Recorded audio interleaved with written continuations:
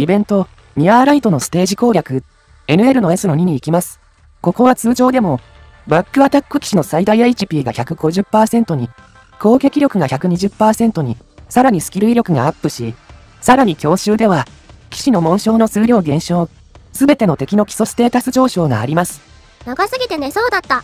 起きて、まだ始まってすらいないよ。星6を3人入れています。それだけいれば余裕でしょ？だといいんですけどね。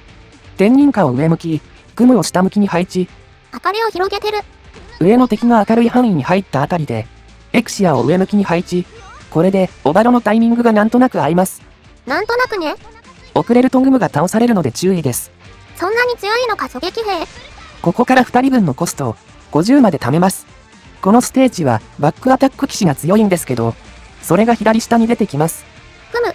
コストが溜まったら、エイやケルシーの順に配置。明るくなって睡眠騎士が動き出したら、すぐにモンスターを配置して止めます。それで2人分貯めたのね。1人ずつ置くと、睡眠騎士に逃げられちゃいますからね。次は、右下へ進出する準備。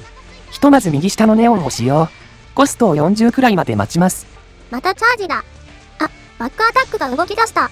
左下の角に来たあたりで、ケルシーのスキル、リキャストのために、少し早めに使っています。行方は気になりますが、次は右下へ進出。ムースで明るくなったら、カービィを上向きに配置。医療も置いて回復します。またバックアタック騎士が出てきた。これがモンスターの前まで来たら、次はイラプション。上を通る虫たちも一緒に倒します。オバロもちょうどあるね。ケルシーのスキルもまた使って、次は右上へ進出。ようやく青ゲート前。左下のバックアタック騎士を倒すのを待ってから、ムースとカービィを下げます。ススールの後ろが暗闇にならないようにだね。クオーラと貨車を配置したら、これでようやく青ゲート前を固めれます。くるっと足場を伸ばしてきたけど、もう敵は半分。下から出てる睡眠騎士が強すぎて、そろそろモンスターが耐えれません。2体目も来てる。もっとゆっくり来て。モンスターが倒されちゃった。